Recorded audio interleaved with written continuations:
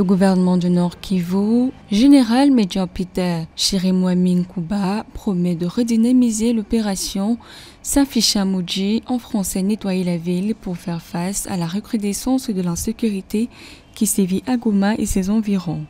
Il assure que des mesures sont prises pour que la quiétude revienne dans la ville. Le général Major Peter Chirimwami annonce le renforcement du charroi automobile de la police. Il s'agit entre autres de la mise en place d'une task force participative où sera impliqué tout le monde parce que la sécurité n'est pas seulement l'affaire des forces de l'ordre et des forces armées, mais celle de tous, précise le gouverneur du Nord Kivu.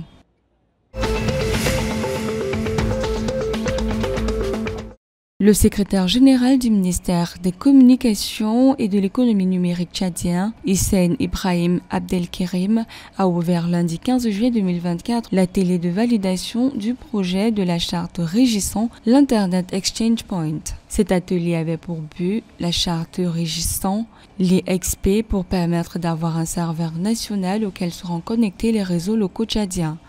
Pour le directeur général de l'Agence de développement des technologies de l'information et de la communication, Adoum Jimed Saboun, la mise en place d'un point d'échange Internet ne fera que renforcer la connectivité du pays. Selon lui, cela facilitera le trafic local et surtout diminuera drastiquement les coûts de connexion.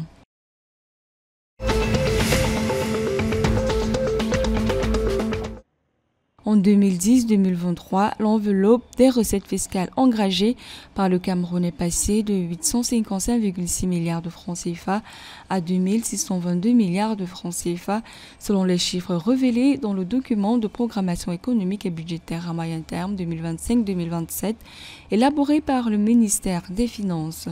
En d'autres termes, au cours de la période sous revue, qui correspond à 13 exercices budgétaires, l'enveloppe des recettes fiscales collectées par l'État camerounais auprès des différents contribuables a triplé.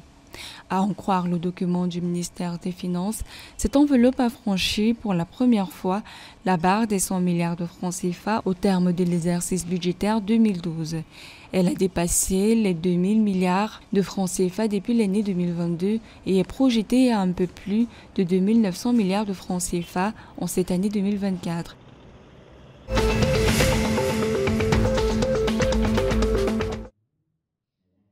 En République du Congo, un décret du Premier ministre Anatole Kolinet Makosso datant du 9 juillet réglemente désormais l'activité de transport public de personnes par motocycle en République du Congo. Ces textes contraignants en matière de sécurité réservent le sous-secteur de l'activité des mototaxis aux personnes de nationalité congolaise sans distinction de genre. Le décret précise par ailleurs que tout motocycle utilisé dans le transport public de passagers doit être immatriculé, assuré et soumis à un contrôle technique périodique. Tout motocycle utilisé dans le transport public des passagers doit disposer de deux casques, dont un pour le conducteur et un autre pour le passager.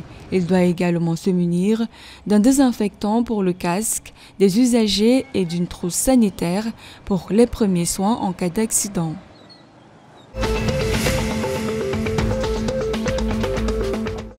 Passionnée et déterminée, Emmanuela Atora Eyege va représenter le Gabon dans la discipline de taekwondo aux Jeux olympiques de Paris. La qualification marque un tournant dans sa carrière couronnée par une médaille d'argent dans la catégorie des moins de 57 kg au championnat d'Afrique 2023. Emmanuel Atora Eyege est la première athlète gabonaise à se qualifier pour les Jeux olympiques de Paris.